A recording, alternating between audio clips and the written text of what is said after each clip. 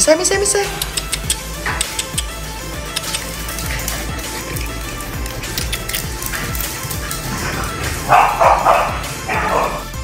Xin chào các bạn, chào mừng các bạn đã đến với Coffee Fan. Thì ngày hôm nay Vũ đã có một cái màn trôi đó chính là Vũ sẽ gọi tên của Misa nhưng mà Vũ sẽ không có nhìn nó.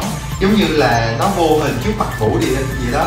Để xem phản ứng của Misa khi mà gọi tên mình mà ở uh, chủ lại không có quan tâm tới mình sẽ như thế nào nhé Bisa. Bisa. Bisa. Bocok. Bisa. Bisa, bisa, bisa. Bisa. Bisa, bisa, bisa, bisa. Bisa.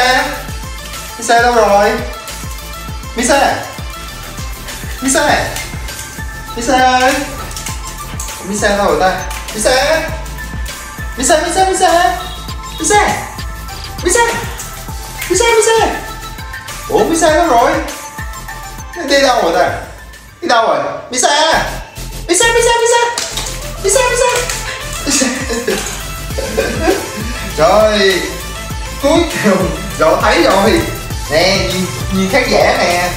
Mẹ hồi hộp quá à chó người ta là hả? Chạy tới là các kiểu con con nó toàn đi chơi luôn mà. Nè nhìn mọi người nè coi cái mặt quẩn của nó nè rồi, cảm ơn các bạn đã theo dõi clip và hẹn gặp lại các bạn vào những clip tiếp theo nha. Xin chào.